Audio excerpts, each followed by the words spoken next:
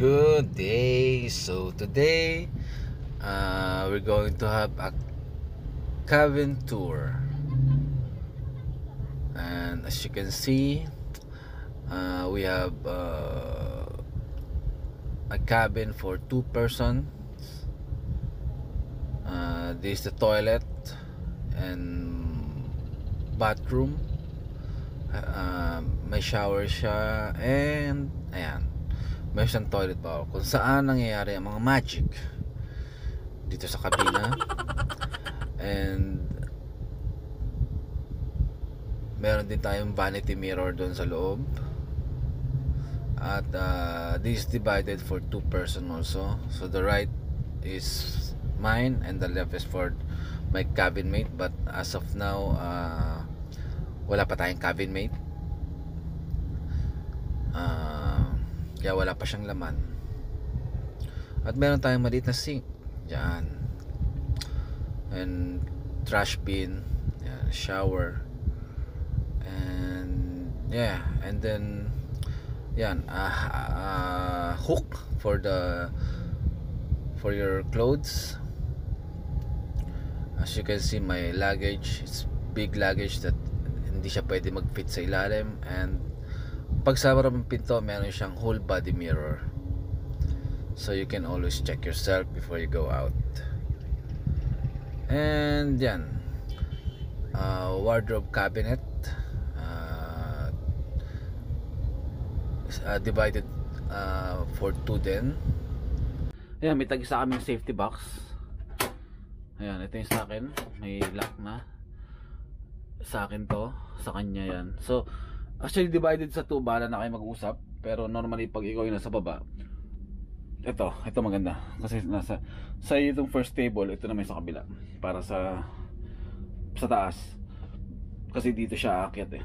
So kinoconsider na lang na sa kanya tong table kasi ito yung part niya. Ito yung side niya. So aakyat siya. Ito yung yan. So naka setup na yan.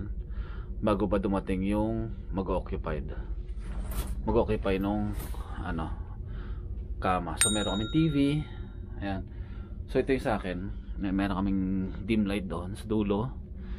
Basically yan lang. It's a bed. So dito yung mga sapatos ko. And yan. Dalawa. So dalawa sa kanya to. Tapos sa akin to sa baba. Tapos meron kaming mini fridge. Okay. So wala siyang laman. Kasi hindi naman hindi naman kami mahilig hindi man ako mahilig maglagay ng laman. Maliban na lang kung may ilalagay ka ako milk uh, banana. Maluwag dito. Actually maluwag dito sa Royal Caribbean. Napaka ano nila sa crew. Yung crew welfare nila. Maganda. The best.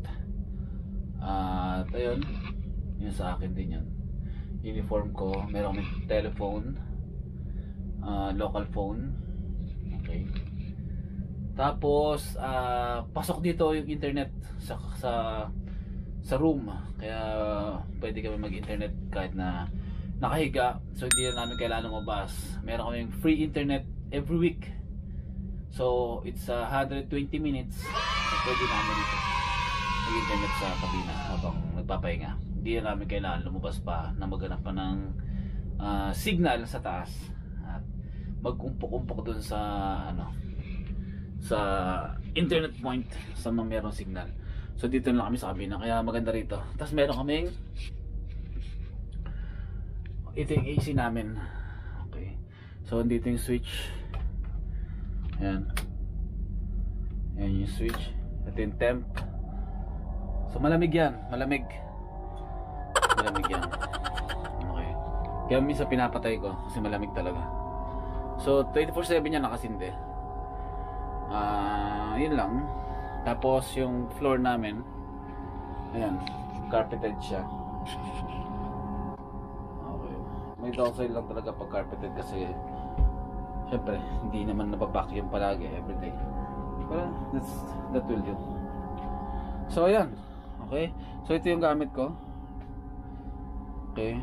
Uh, so yun lang. Quick tour lang sa aking kabina yung mga sapatos okay sapatos ko pang pool pang duty meron pa ako doon okay so yan. ah, thank you for watching and quick tour lang sa aking kabina. Okay. Peace out.